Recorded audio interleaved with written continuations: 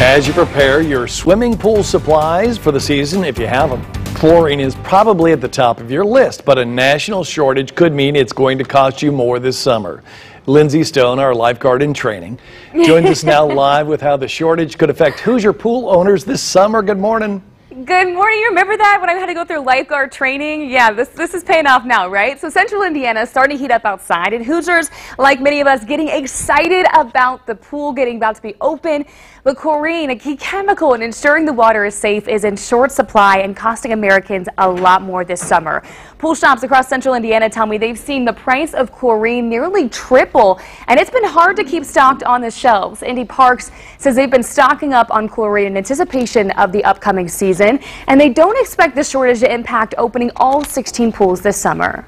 So we're not in like freak out mode, but I mean, with everything going up inflation wise across the country, there's going to be some inflation with our chemicals and whatnot. Last year was really bad. This year it, it's better, um, but it's like if we get it, and anybody finds out about it, they they come they come as soon as they hear, and it's it's sold out within a matter of days.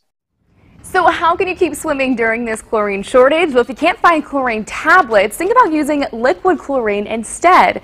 Another alternative to chlorine is a chemical bromine. That's an excellent sanitizer, but unlike chlorine, it doesn't have that strong scent that we're used to. And while it does cost more upfront, pool experts recommend thinking about switching to a saltwater pool. Also a good option. So as you try these different solutions, pool experts say just think about testing your pool water a little bit more just to ensure that it's safe. It's a great way to reduce chlorine costs and make that supply of chlorine last a little bit longer without compromising the safety or water quality. Here in the studio, Lindsay Stone, Fox 59 News. Lindsay, good advice.